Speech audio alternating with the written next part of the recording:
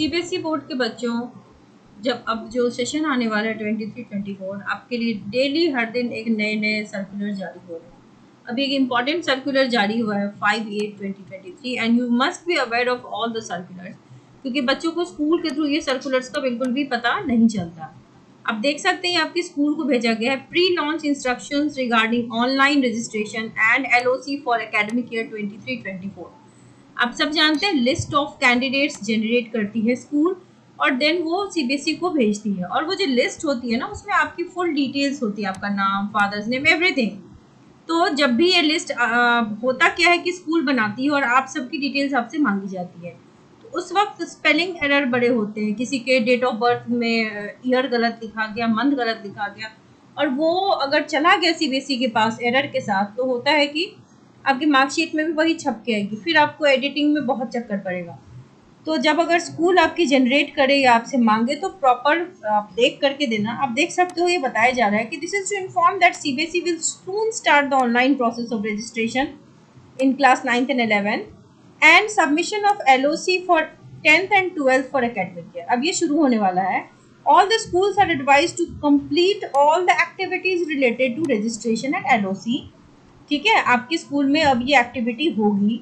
Registration and L O C are starting school में be able to complete this activity correctly and within the given schedule तो ये देखो, ये हर साल की बात है पहली बार नहीं हो रहा है और आपके सीनियर्स को भी ये बताया जाता है क्योंकि बाद में अगर एडिटिंग नहीं हुई तो बहुत सारी दिक्कतें होती हैं उनको।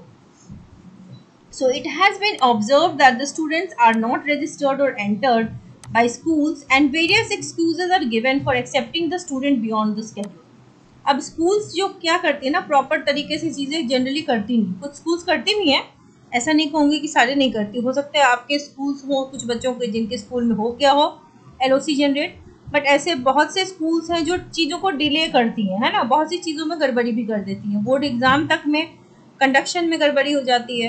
तो यहाँ तो चलो एलओसी की बात है। तो स्कूल्स बहाने जनरेट कर रही है कि स्टूडेंट्स को मतलब स्केड्यूल के बियॉन्ड वो टाइम मांग लेती है। So this jeopardises and hampers the subsequent activities अभी आपके एग्ज़ाम कंडक्ट होने में छः महीने हैं और सीबीएसई को बहुत चीज़ें अरेंज करनी है। एलओसी मिलेगा, फिर वो बहुत सी चीज़ें करती हैं, फिर एग्ज़ाम होता है।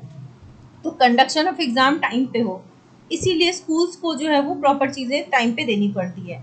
And this is the prior intimation given to schools to keep the data ready so ये तो देखो स्कूल के लिए सर्कुलर है, आपकी क्या ड्यूटी बनती है? वॉट एवर इन्फॉर्मेशन जो आपसे मांगा जाता है स्पेशली बोर्ड के बच्चे टेंथ एंड ट्वेल्थ वो आप प्रॉपर रीचेकिंग करके देना so this is the very important information क्योंकि आपके स्कूल में देखो टाइम बड़ा कम बचा हुआ है। Spelling error date of birth में नंबर एरर बहुत होता है। वो आपके मार्कशीट में फिर रिफ्लेक्ट हो जाएगी। तो बच्चों, ये है recent update regarding CBSE board 2024 आप चैनल के साथ बने रहिए ताकि आपको सारी एक्टिविटीज़ सारी इन्फॉर्मेशन ऑन टाइम मिले और कॉन्टेंट्स भी मिलते रहे. So wish you all the very best